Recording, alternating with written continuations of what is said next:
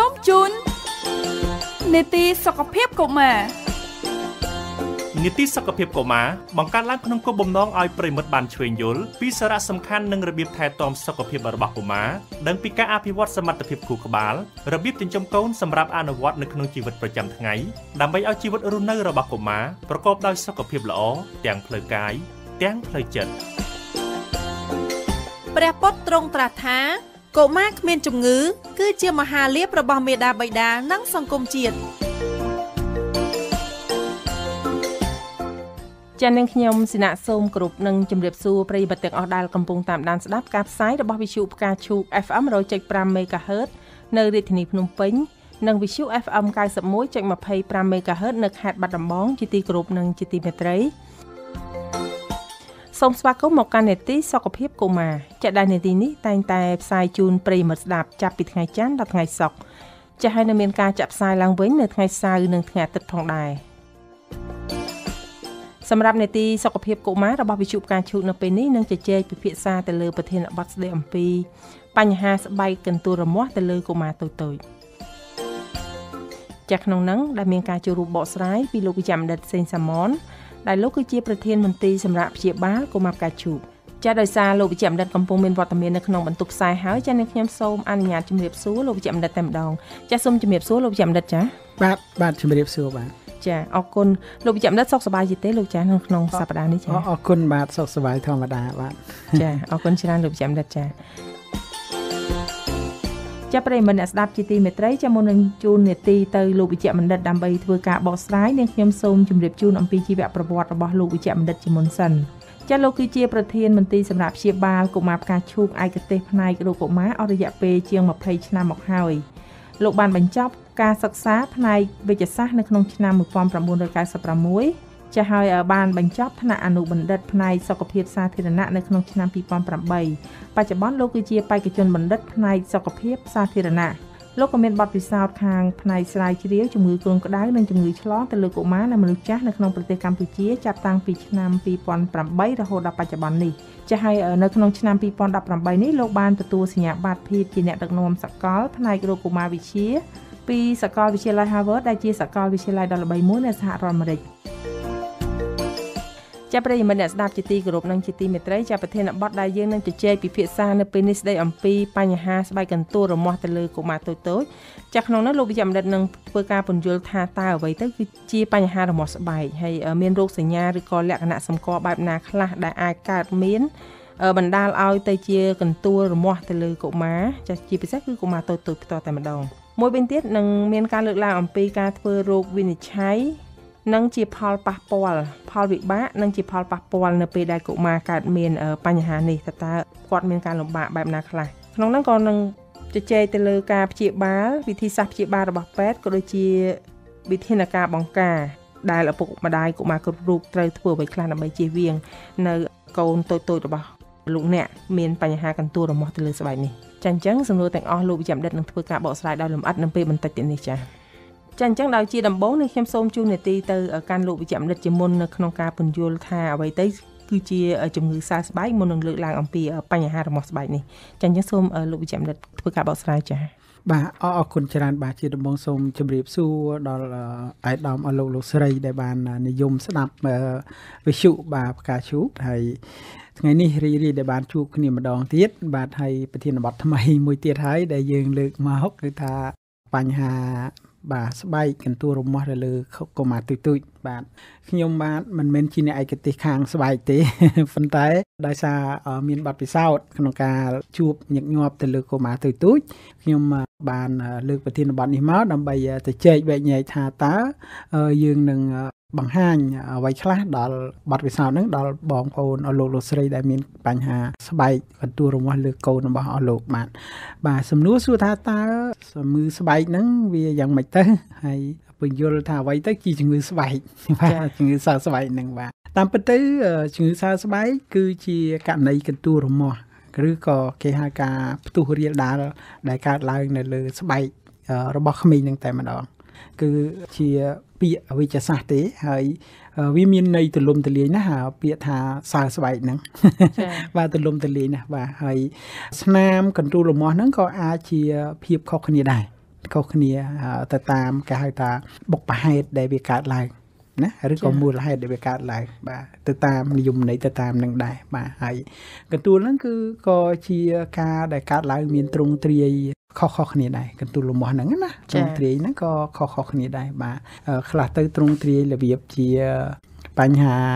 ដែលយើងព្រួយបារម្ភខ្លាំងទៅខ្លះទៅក៏ជាបញ្ហាដែលតិចតួចអញ្ចឹងទៅបាទហើយវាក៏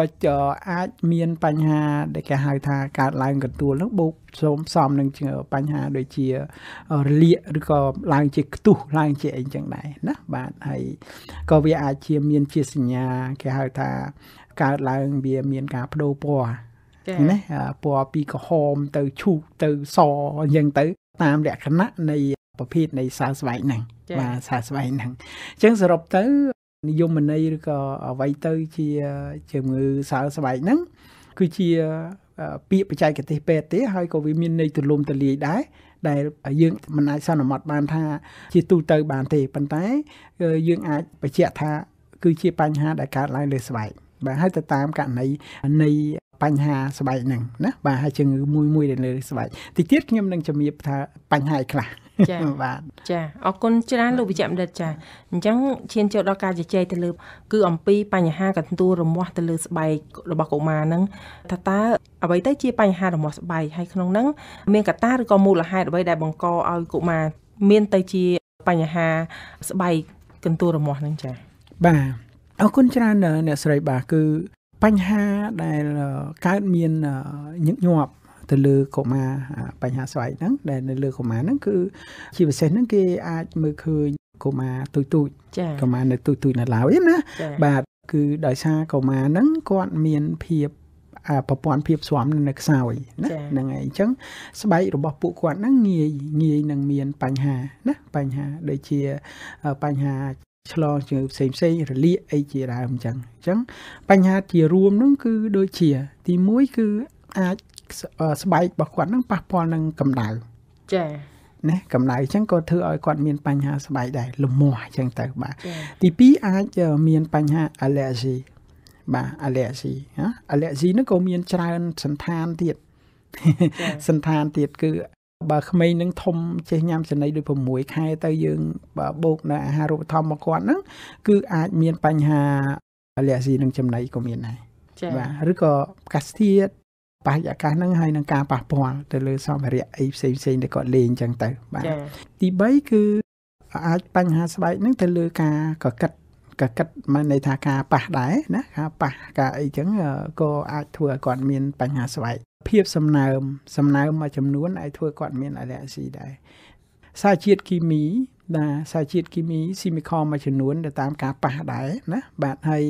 ក្លិនក្លិនដែលនៅជុំវិញខ្លួនរបស់គាត់ឬចិត្តចិត្តគាត់ហ្នឹងណាដែលក្លិនក៏អាចធ្វើឲ្យមាន allergy ដែរបាទតែ allergy ហើយធ្វើឲ្យមានបញ្ហាស្បែកដែរបាទអាច ដោយសារគេហៅថាប្រដាប់ប្រដាប្រើប្រាស់ដូចជាកតោបកាត់សែងអីផ្សេងផ្សេងអញ្ចឹងណាក៏ធ្វើឲ្យគាត់មានបញ្ហាស្បែកដែរទៅលើក្មេងតូចតូចហ្នឹងបាទបញ្ហាដែលគឺយើងគិតច្រើនហើយបារម្ភគឺជាបញ្ហា ដែលបង្កមានបញ្ហាស្បែកដោយសារពពួកមេរោគណាមេរោគដែលជាមេរោគដូចជា virus ណាដូចជាបាក់តេរី ដូចជាផ្សិតគេហៅ fungus ណាបាទផ្សិតនឹងហើយហើយនឹងពពួកប៉ារ៉ាស៊ីតមួយចំនួនដែរណាដែលក៏ធ្វើឲ្យមានបញ្ហាស្បែកនៅលើក្មេងពោះមេរោគទាំងអស់នេះវាងាយនឹងកើតឡើងវាងាយនឹង affect ទៅលើស្បែករបស់កុមារទូចទូចបាទហើយគេអង្កេតមើលឃើញទៀតអ្នកស្រីគេអង្កេតមើលឃើញអំពីកត្តាឬក៏បញ្ហានឹងដែរគេច្រើនតែឃើញអង្កេតឃើញនៅ បញ្ហាហ្នឹងវាកើតឡើងនៅនៅនៅដងខ្លួនទាំងមូលប៉ុន្តែគេអាចអង្កេតឃើញនៅលើមុខរបស់គាត់នៅកនៅកលាក់ដៃកលាក់ជើងហើយនៅបាតដៃបាតជើងអញ្ចឹងណាហើយឬក៏នៅខ្មែរយើងច្រើនហៅច្រវែបច្រវែបដៃច្រវែបដៃច្រវែបជើងអីចឹង ក៏អាចដែរហើយតំបន់ដែលដូចជានៅកលៀនកលៀនដែលយើងស្លៀកដៃអភើណាខោណាខោទាំងនួមខាយទៅ វាអាចធ្វើឲ្យមានណាឬក៏កុមារខ្លះធាត់គាត់មានធាត់ធាត់អញ្ចឹងទៅវានៅអាកលៈកលៈរែងសាច់គាត់ធាត់ណាអាថ្នត់ហ្នឹងណាអានឹងក៏អាចធ្វើឲ្យគាត់មានបញ្ហានៅកន្លែងហ្នឹងដែរបាទចាអរគុណច្រើនលោកវិជ្ជបណ្ឌិតដែលបានបញ្ជាក់ ជូនទៅនឹងកត្តាឬក៏ជាមូលហេតុដែលបង្កឲ្យកុមារមាន បញ្ហាស្បែកកន្ទួលរមាស់ហ្នឹងចាស់ជាពិសេសគឺទៅលើកុមារតូចតូចតែម្ដងចាចំណុចមួយទៀតលោកវិជ្ជបណ្ឌិតពាក់ព័ន្ធទៅនឹងរោគសញ្ញាឬក៏ជាលក្ខណៈសម្គាល់វិញចង់ដឹងថាយើងមើលឃើញបែបណាដែលគិតថាបញ្ហាហ្នឹងគឺជាកន្ទួលរមាស់ទៅលើកុមារមិនមែនជាជំងឺផ្សេងផ្សេងដូចយើងមានការយល់ច្រឡំទៅជំងឺស្អូចឬក៏ជំងឺកញ្ជ្រិលអីចឹងណាចា បាទអរគុណច្រើនបាទបើនិយាយរួមទៅដូចខ្ញុំបានជម្រាបពីខាងដើមអញ្ចឹងពពោះអីបញ្ហាទៅលើស្បែកហ្នឹងគ្រាន់តែជាសញ្ញាទេប៉ុន្តែมันបានកំណត់ថាវាជាជំងឺទេចា៎វាជាជំងឺស្បែកប្រភេទណាមួយទេឬក៏អាចនិយាយថាបញ្ហាស្បែកនេះគឺជាជំងឺស្បែកប៉ុន្តែអត់ទាន់បានសន្មត់ថាវាជាបញ្ហាដោយសារមីរូឬក៏ដោយសារអ្វីទេអញ្ចឹងណាបាទ អញ្ចឹងបើសិនជាយើងមើលជាលក្ខណៈទូទៅនៃរោគសញ្ញានិងកន្ទួលរមាស់សើស្បែកឬក៏កន្ទួលរមាស់លើស្បែកកុមារហ្នឹងគឺវាអាចមានលក្ខណៈខុសៗគ្នាច្រើនដែលខ្ញុំបានជម្រាបអញ្ចឹងគឺខុសៗគ្នាច្រើនយ៉ាងណាមិញបើសិនជាក្នុងករណីដែលយើងមើលឃើញថាសញ្ញាដែលខុសប្លែកនៅលើស្បែកកូនរបស់យើងបានន័យថាវាជាបញ្ហាសើស្បែកហើយអញ្ចឹងយើងអាចសម្គាល់ទៅលើ ស្បែកហ្នឹងមានអីខ្លះណាសម្គាល់នៅកន្លែងណាខ្លះហើយវាលេចឡើងមិនខ្លះបាទអញ្ចឹងទី1គឺយើងសម្គាល់ទៅលើការលេចឡើងខុសធម្មតានៃស្បែកណាអាចសម្គាល់ទៅលើ មុខរបស់កុមារដូចខ្ញុំបានជំរាបមុនហ្នឹងបាទអាចសម្គាល់ទៅលើជើងសក់គាត់ណាបើមានជើងសក់គាត់ហ្នឹងមានក្រហមក្រហមក្រហមចេញមកបាទតាមគែមគែមជើងសក់ហ្នឹងមួយទៀតអាចកន្ទួលហ្នឹងនៅកន្លែងដែល កុមារហ្នឹងគាត់បត់ជើងបត់អីមកណាហើយមានកទួលនៅគូតគាត់ឬកន្លែងណាដែលកលាក់ដូចជាកជើងក៏អីហ្នឹងវាមានចេញជាក្រហមក្រហមមកហ្នឹងគឺជាលក្ខណៈហើយណាលក្ខណៈនៃសញ្ញាដែលយើងគិតថាជាបញ្ហាសើស្បែកកន្ទួលនឹងដែរក៏វាអាចនៅលើមាត់គាត់នៅលើទ្រូងគាត់អីក៏ជាលក្ខណៈសញ្ញាដែលយើងឃើញដែរងាយមើលឃើញដែរណាបាទហើយជាច្រើនយើងអាចឃើញអង្កេតឃើញនៅ នៅនៅនឹងដៃឬកដៃកដៃកលាក់ដៃឬក៏នៅគេហៅថាកលាក់កជើងក៏អីចឹងណាបាទនៅលើកុមារហ្នឹងក៏ភាកច្រើនដែលគេអាចរកឃើញដែរនៅជង្គង់របស់គាត់អីចឹងណាបាទហើយលក្ខណៈដែលយើងគិតថាវាជាសញ្ញាសម្គាល់ខ្លាំងដែរនោះគឺថាវាមានចេញជាសញ្ញាក្រហមហើយវាបូកនឹងសញ្ញាដែលគាត់មានគេហៅថា អារម្មណ៍របស់គាត់អត់ល្អឬក៏បើយើងមើលស្បែកគឺស្បែកហ្នឹងឡើងក្រហមហើយមានក្តៅនៅលើស្បែកហ្នឹងចា៎មើលក្តៅហើយមានចេញជាកាយថាលមាស់ក៏មានដែរអញ្ចឹងណាបាទលក្ខណៈបញ្ហាផ្សេងទៀតសញ្ញាផ្សេងទៀតដែលគេស្រួលមើលបំផុតថាកូននឹងមានបញ្ហាស្បែកហ្នឹងដូចជាបញ្ហាទៅលើគេហៅថាជំងឺមួយចំនួនដូចជាជំងឺ virus វីរុសដែលដែលខ្ញុំជំរាបខាងដើមហ្នឹងដូចជាវីរុសមួយចំនួនដូចជាអស្វាយ ក៏វាចេញជាកន្ទួលរមាស់ឬក៏វាអាចបូកនឹងអាកៅ blister ពងបែកហ្នឹងចា៎ហើយផងដែរក៏គេអង្កេតឃើញដែរនៅរដូវរំហើយឬក៏រដូវគេហៅថាក្តៅដែរគឺជំងឺពងបែកមាត់ដៃហើយនឹងជើងក៏ញឹកញាប់ដែរណាព្រោះមានបញ្ហាសើស្បែកដែរគឺចេញកន្ទួលរមាស់នៅលើស្បែកជាពិសេសនៅបាតដៃហើយនិងបាតជើងរបស់គាត់ចា៎បាទហើយកន្ទួលដែលយើង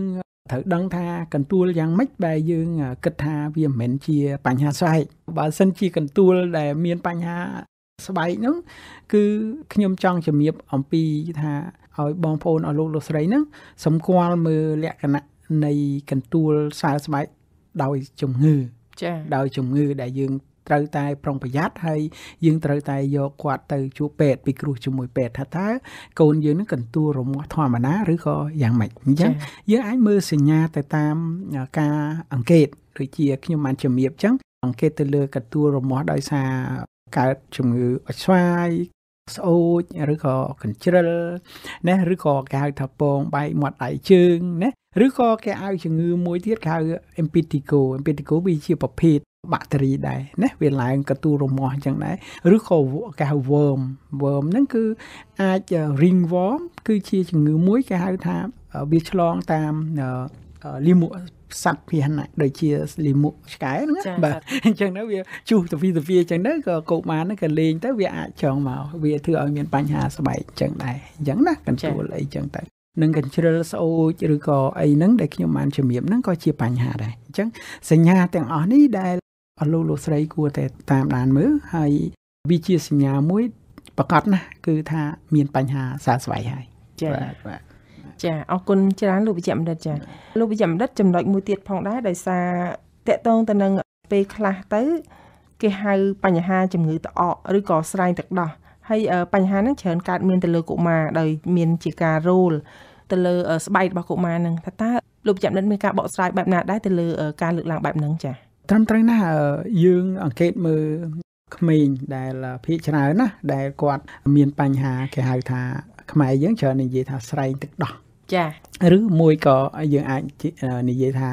កូនហ្នឹងកើតតអកឬក៏អាចថាមានស្បែករ៉ាំរ៉ៃចាណាមានជំងឺស្បែកហ្នឹងរ៉ាំរ៉ៃឬក៏បញ្ហាស្បែកហ្នឹងរ៉ាំរ៉ៃបាទអញ្ចឹង វាពិបាកបកស្រាយណាស់ក្នុងករណីនេះគឺវាមានរឿងច្រើនអ្នកស្រីរឿងច្រើនដែលយើងត្រូវនិយាយបាទហើយអ្នកឯកទេសស្បែកគាត់អាចនឹងពន្យល់ច្បាស់ជាងខ្ញុំអំពីបញ្ហាទាំងនោះប៉ុន្តែខ្ញុំអាចលើកជាចម្លើយខ្លះតាក់ទងទៅនឹងបញ្ហាស្រែងទឹកដោះឬក៏តអកហ្នឹង ការពិតទៅអឺស្រែងហ្នឹងឬក៏អឺមានបញ្ហាស្បែកដែលយើងច្រើននិយាយថាតអកហ្នឹងវាជាវាតាក់ទងទៅនឹងអឺការហៅថាប្រព័ន្ធការពាររបស់កុមារចាភាគច្រើនប្រព័ន្ធការពារកុមារដែលកុមារហ្នឹងកាលណាមានប្រព័ន្ធការពារនឹងប្រែប្រួលឬក៏មិនទាន់រឹងមាំអត្រាភាគរយច្រើនណាស់ដែលបណ្ដាលឲ្យមានភាពអាឡែស៊ីបាទអាឡែស៊ីហ្នឹងដែលចេញមកពី កត្តាមួយចំនួនដែលយើងមិនបានប្រុងប្រយ័ត្នចាដូចជាកត្តាដែលយើងអត់បានគេហៅថាកត្តាសើមធ្វើចា៎គាត់គាត់មិនគាត់មានសំណើមឬក៏កន្លែងហ្នឹងគឺងាយនឹងផ្អាប់យូរអញ្ចឹងទៅធ្វើឲ្យឆ្លងមេរោគណាឬក៏ពពុះប្រព័ន្ធការពារគាត់ខ្សោយហើយគាត់នឹងមានកើតចេញជាខមរមាស់ឬក៏គេហៅតអកហ្នឹងបាទហើយ បញ្ហាដែលមួយចំនួនទៀតជាបញ្ហាដែលពុកម្ដាយពិបាករកឃើញដែរកាលណាមានកុមារមានបញ្ហាស្បែកអញ្ចឹងគាត់ច្រើនតែយកទៅជួបអ្នកឯកទេសស្បែកចាអញ្ចឹងណាតាការពិតទៅគឺតអកគេធ្វើការសិក្សាទៅឬក៏ស្រ័យទឹកដោះហ្នឹងគឺអាឡែស៊ីភាគច្រើនណាបើក្មេងនឹងអឹមទឹកដោះគូគឺភាគច្រើនអាឡែស៊ីជាមួយនឹងទឹកដោះគូ ចាបាទទឹកដោះគូទឹកដោះគូហ្នឹងគឺគេហៅខៅប្រូតេអ៊ីនអាឡែស៊ីណាគឺថាអាឡែស៊ីជាមួយនឹងប្រូតេអ៊ីនសាច់នៅក្នុងទឹកដោះគូហ្នឹងហើយនឹងមានស្ករឡាក់តូសអ៊ីនតូឡេរ៉ង់បានន័យថាវាអត់បំបែកស្ករហ្នឹងវាអត់បំបែកបានល្អអញ្ចឹងវាចេញពីព្រឹត្តិកម្មណាបាទអញ្ចឹងក៏ជាបញ្ហាដែរមូលហេតុនេះហើយដែល WHO ឬក៏សួងសុខាភិបាលជំរុញឲ្យកុមារនឹងឯងអឹមទឹកដោះម្ដាយចា សំខាន់ណាបាទបំបៅដោះដោយទឹកដោះម្ដាយណាបាទយ៉ាងហោចណាស់ក៏6ខែណាដើម្បីកាត់បន្ថយការអាឡែស៊ីហ្នឹងដែលចេញជាសញ្ញាស្បែកដូចចេញជាតអកដូចចេញជាការដែលគាត់មានរាគរូសចេញជាការដែលគាត់មានបញ្ហាផ្លូវដង្ហើមណាបាទចេញជាមានបញ្ហាក្តៀនអីជាដើមអញ្ចឹងប៉ុន្តែអ្វីជាច្រើនជាងគេដែលយើងលើកឡើងនេះគឺបញ្ហាស្បែកដែលមានចេញជាសញ្ញាតអកចា ណាតអឬក៏ស្រែងទឹកដោះហ្នឹងតែបើសួរសំណួរថាចុះកូនខ្ញុំអត់មានអឹមទឹកដោះគោទេអឹមតាដោះម្ដាយក៏មានបញ្ហាស្រែងទឹកដោះដែរអញ្ចឹងយើងត្រូវអង្កេតមើលទៀតអំពីបញ្ហាដូចខ្ញុំបានជំរាបអញ្ចឹងការដែលយើងមិនបានអឹមហើយមិនបានជូតឲ្យគាត់ស្ងួតភ្លាមភ្លាមណាផ្អាប់ទុកយូរអាចកើតចេញជាមានបញ្ហាបាទបាទហើយក៏ជាបញ្ហាដែល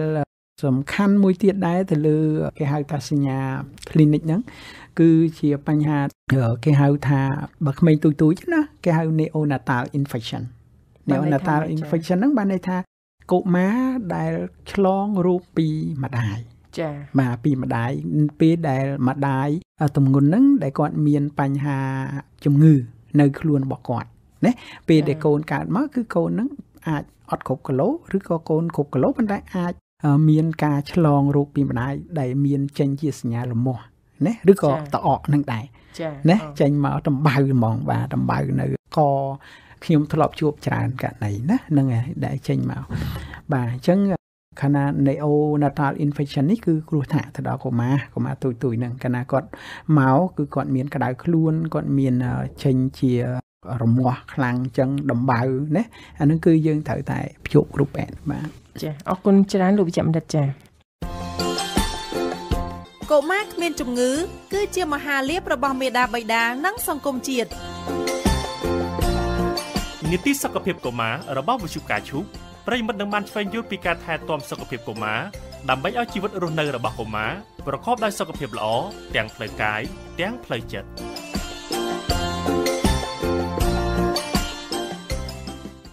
ចា៎ខ្ញុំសូមជម្រាបជូនទៅកាន់ប្រិយមិត្តអ្នកស្ដាប់ម្ដងទៀតថាពីនេតិសុខភាពកុមាររបស់វិទ្យុការឈូននៅពេលនេះកំពុងជជែកទៅលើប្រធានបទស្ដីអំពីបញ្ហាស្បែកកន្ទួលរមាស់ទៅលើកុមារតូចតូចចា៎ដែលក្នុងនោះមានការចូលរួមបកស្រាយពីលោកវិជ្ជបណ្ឌិតសេងសាម៉ុនដែលលោកគឺជាប្រធានមន្ត្រីសម្រាប់ព្យាបាលកុមារផ្កាឈូកអញ្ចឹងនាងខ្ញុំសូមជម្រាបសួរបន្តទៅកាន់លោកវិជ្ជបណ្ឌិតតកតងទៅនឹងរបៀបពិនិត្យឬក៏ធ្វើរូបវិនិច្ឆ័យទៅលើបញ្ហារមាស់ស្បែកហ្នឹងថាតើគ្រូពេទ្យហ្នឹងមានវិធីសាស្ត្របែបណាទៅលើ ការពិនិត្យហ្នឹងចា៎បាទអរគុណច្រើនបាទបើសិនជាក្នុងករណីដែលយើងផ្ដោតទៅលើការធ្វើរោគវិនិច្ឆ័យការធ្វើរោគវិនិច្ឆ័យទៅលើបញ្ហាសើស្បែកស្រួលទេក្នុងការដែលយើងមើលទៅគឺឃើញពីព្រោះអីជាបឋមហ្នឹងគ្រាន់តែយើងកលេចទៅមើលស្បែកកូនរបស់យើងហ្នឹងគេហៅថាខុសធម្មតាហ្នឹងគឺយើងថាអូមានបញ្ហាបញ្ហាសើស្បែកបាទប៉ុន្តែបើសិនជាយើង អង្កេតទៅលើបញ្ហាដែលធ្ងន់ធ្ងរហើយតម្រូវឲ្យគ្រូពេទ្យគាត់ធ្វើរោគវិនិច្ឆ័យតែម្ដង គឺទាល់តែយើង ជាឪពុកម្ដាយហ្នឹងនាំកូនដែលមានបញ្ហាសើស្បែកដែលយើងគិតថាបញ្ហាសើស្បែកហ្នឹងវាមិនធម្មតាទេយើងត្រូវតែទៅជួបគ្រូពេទ្យអញ្ចឹងការធ្វើរោគវិនិច្ឆ័យរបស់គ្រូពេទ្យគាត់អាចធ្វើរោគវិនិច្ឆ័យតាម2 3បែបទី1គឺគាត់ធ្វើរោគវិនិច្ឆ័យទៅលើលក្ខណៈនៃ គេហៅថាកន្ទួលរមាស់ហ្នឹងបាទកន្ទួលរមាស់លើស្បែកហ្នឹងកន្ទួលរមាស់របៀបម៉េចដែលគិតថាអាឡែស៊ីរបៀបម៉េចដែលគិតថាវាជាបាក់តេរីឬក៏ជាប្រភេទ virus ឬក៏ជាប្រភេទផ្សិតណាបាទឬក៏អាចថាកន្ទួលរបៀបម៉េចទៅ គឺជាប្រភេទគេហៅថាសត្វល្អិតណាសត្វល្អិតបាទអញ្ចឹងបាទដូចជា ខ្មែរយើងគេហៅថាព្រូនលូនចូលស្វែកណាវាអាចអញ្ចឹងឋិននៅលើបទពិសោធន៍របស់គ្រូពេទ្យ ទី2គេគ្រូពេទ្យគាត់អាចធ្វើរោគវិនិច្ឆ័យដោយធ្វើតេស្តបាទធ្វើតេស្តបានន័យថាគាត់អាចបូមឈាមទៅធ្វើតេស្តរកមើលបញ្ហាអាឡែស៊ីឬក៏បញ្ហាអីមួយចឹងទៅបាទដំណាក់កាលទី3មួយទៀតនោះបើសិនក្នុងករណីដែលស្បែកនឹងរ៉ាំរ៉ៃគ្រូពេទ្យប្រហែលជានឹងច្រឹបស្បែកកូនលោកអ្នកហ្នឹងដែលមានបញ្ហាហ្នឹងយកទៅពិភាក្សាមើល បាទពិភាក្សាមើលគេហៅថាធ្វើអាណាអាណាប៉ាត់ណាឬក៏គេធ្វើបយប់ស៊ីហ្នឹងដើម្បី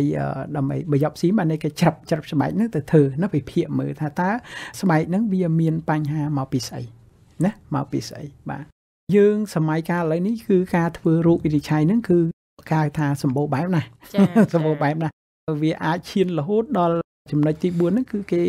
យកទៅបណ្ដោះមើលទៀតណាគេយកបណ្ដោះមើលបើសិនជាក្នុងករណីស្បែកហ្នឹងមានបញ្ហាខ្ទុះមានបញ្ហាអីទឹកងៃចេញខ្លាំងអីចឹងទៅ គឺគេយកខ្ទុះឬយកខៅទឹកងៃខ្មែរយើងហៅទឹកងៃហ្នឹងគឺយកទៅបណ្ដោះមើលណាបណ្ដោះមើលហើយយើងនឹងអាចដឹងថាតើវាជាប្រភេទមេរោគអីហើយនឹងត្រូវព្យាបាលថ្នាំប្រភេទយ៉ាងម៉េចបាទនេះគឺជាការធ្វើរោគវិនិច្ឆ័យដោយគ្រូពេទ្យ បាទប៉ុន្តែសូមបកទៅចំណុចខាងក្រោយវិញគឺថា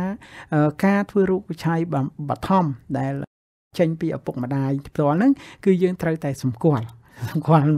ថាតើស្បែកកូនរបស់យើងហ្នឹងខុសប្លែកធម្មតាយ៉ាងម៉េចណាក្នុងការបារម្ភកម្រិតណា ដើម្បីយើងនឹងអាចនាំយកទៅជួបគ្រូពេទ្យ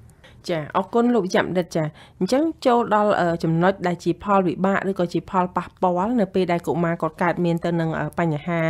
ស្បែករបស់គាត់កទួលរមាស់ហ្នឹងតើតើមានផលវិបាកយ៉ាងណាខ្លះចាអរគុណច្រើនបាទបាទបើយើងនិយាយអំពីផលប៉ះពាល់ឬក៏គេហៅថាផលលំបាក ណាផលលំបាកបានន័យថាវាមានរឿងមានរាវហើយតទៀតហើយពិបាកនឹងដោះស្រាយអញ្ចឹងមានបញ្ហាកន្ទួលរមាស់នឹងច្រើនណាស់ដែលយើងត្រូវគិតណាប៉ុន្តែតាមការសិក្សាទៅបញ្ហាកន្ទួលរមាស់សើស្បែកហ្នឹងដូចជាมันមានបញ្ហាគ្រោះថ្នាក់ធ្ងន់ធ្ងរទេចា៎ណាធ្ងន់ធ្ងរខ្លាំងជាដូចថានេះទេប៉ុន្តែក៏វាមានករណីដែរករណីដែលអាចទៅឲ្យធ្ងន់ធ្ងរដែរ អញ្ចឹងខ្ញុំចង់លើកយកអំពីផលប៉ះពាល់ដែលសញ្ញាដំបូងដែលនឹងឈានទៅរកភាពធ្ងន់ធ្ងរណាធ្ងន់ធ្ងរទី1គឺយើងទៅមើលទៅលើកន្ទួលហ្នឹងតើកន្ទួលហ្នឹងវារៀលដាលលឿនពេញខ្លួនយើងទេពេញខ្លួនកុមារហ្នឹងហ្នឹងហើយទី1គឺមើលគាត់ណាគឺកើតកន្ទួលពឹបគឺកន្ទួលនោះវារាលដាលលឿនណារាលដាលលឿននឹងជាសញ្ញាដែលយើងគិតថាធ្ងន់ធ្ងរបាទហើយ ទី2គឺមានកន្ទួលហើយបូកនឹងជាមួយនឹងគ្រុនក្តៅគាត់មានគ្រុនមានក្តៅខ្លួនណាក្តៅខ្លួនខ្លាំងមានកន្ទួលហើយមានក្តៅខ្លួនខ្លាំងគឺយើងគិតថាប្រហែលជានឹងមានភាពធ្ងន់ធ្ងរទៅខាងមុខបាទមានកន្ទួលចេញមកភ្លាមភ្លាមហើយប៉ុន្តែអាកន្ទួលនឹងគឺវារៀលដាលលឿន លឿនទី2មិញដែលខ្ញុំជំរាបថារៀលដាលពេញខ្លួនប៉ុន្តែមិនលឿនទេពេញខ្លួនអានេះគឺថាកើតភ្លាមគឺរៀលដាលលឿនហ្មងបាទវាវាវារៀលរៀលដាលគឺលឿនហ្មងណាបាទហ្នឹងហើយបាទទៅកន្លែងនេះកន្លែងនេះកន្លែងនេះកន្លែងនោះផ្សេងទៀតអញ្ចឹងទៅលឿនអញ្ចឹងបាទទី3គឺកន្ទួលនឹងឯងចាប់ដើមមានខ្ទុះបាទណាមានខ្ទុះ ចេញមកមានកន្ទួលហើយមានខ្ទុះមានអីចេញមកហើមអីចឹងទៅហើយកន្ទួលនឹងឯងចាប់ផ្ដើមលើលើស្បែកហ្នឹងគឺមានការឈឺចាប់ចាឈឺចាប់ណាគាត់ចាប់ផ្ដើមមកគឺឈឺហ្មងគាត់យំបើក្មេងគឺគាត់មិនបានប្រាប់ថាគាត់ឈឺទេប៉ុន្តែគាត់បង្ហាញពីភាព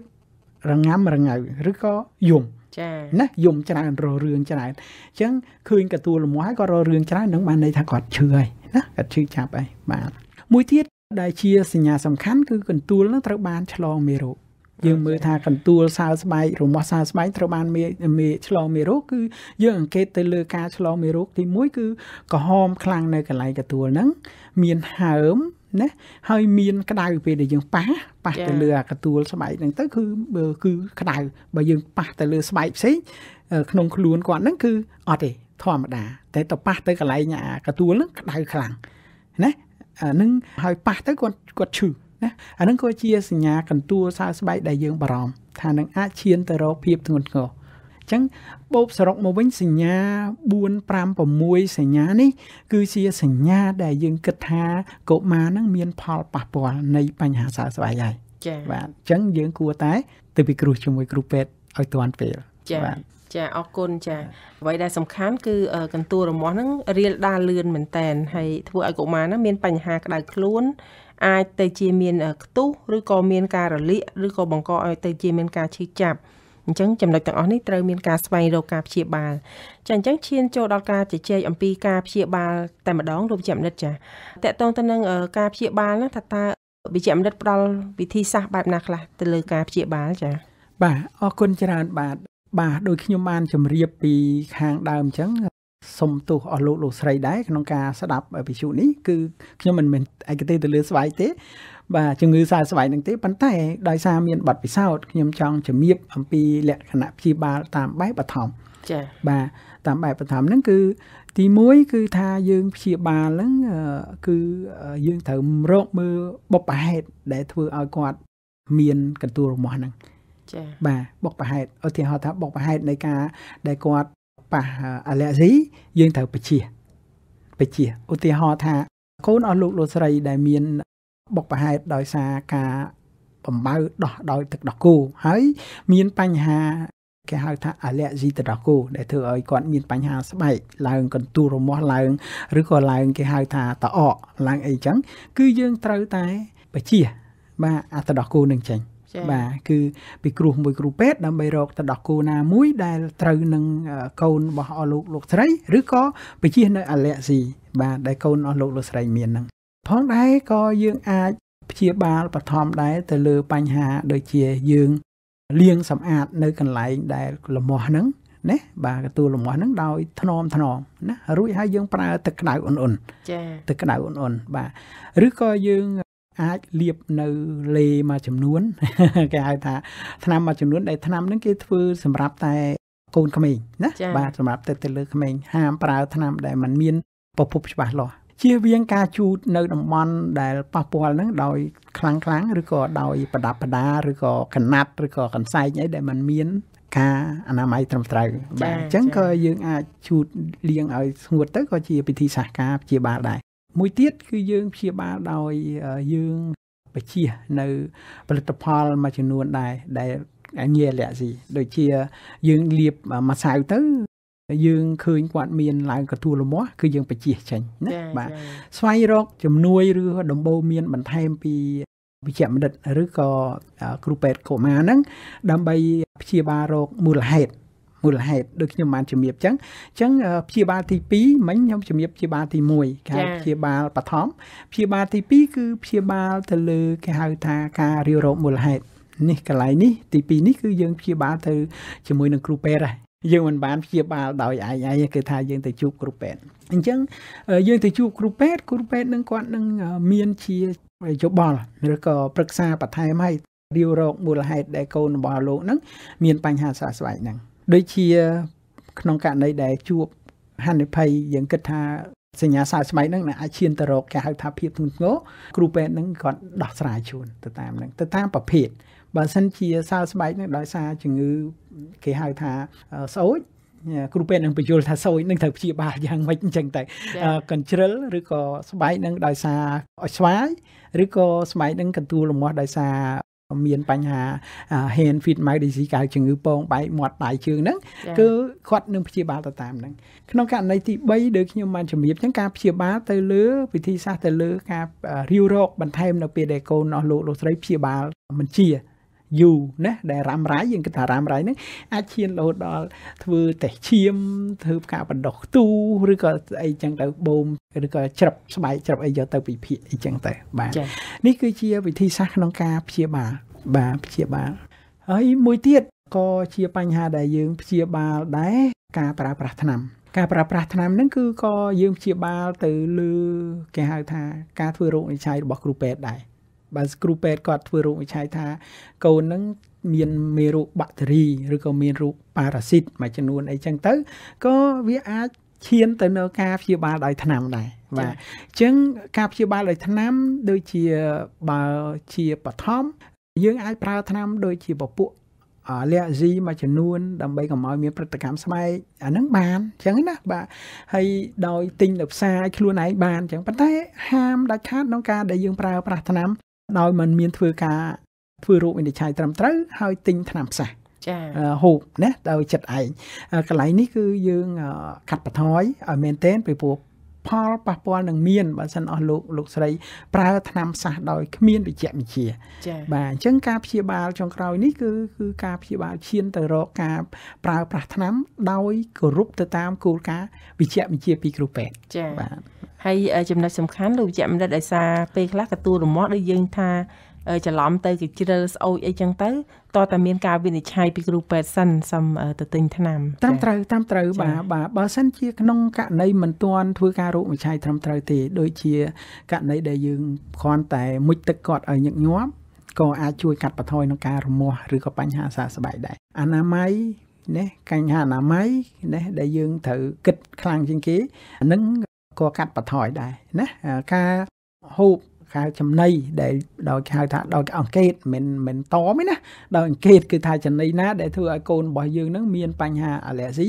យើងបជាចេញអាហ្នឹងក៏ជាវិធីសាស្ត្រក្នុងការព្យាបាលដែរ ចា៎បាទបាទចាអរគុណច្រើនលោកវិជ្ជបណ្ឌិតចាអញ្ចឹងដោយសារចង់ដឹងអំពីវិធានការផ្ទាល់តែម្ដងលោកវិជ្ជបណ្ឌិតតកតងទៅនឹងការបង្ការការការពារហ្នឹងថាតើពុកម្ដាយកុមារគ្រប់រូបហ្នឹងគាត់គួរធ្វើមិនខ្លះដើម្បីឲ្យការពារកុមារឬក៏កូនរបស់គាត់ហ្នឹងឲ្យជៀសផុតពី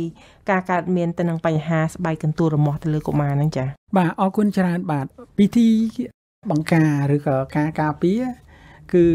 ត្រឹមត្រូវណាស់អឺដូចខ្ញុំបានជម្រាបមិញក្នុងការព្យាបាលដែរគឺថាគឺអឺយើងធ្វើម៉េចទី1សំខាន់បំផុតហ្នឹងគឺគេហៅថាការពារដោយ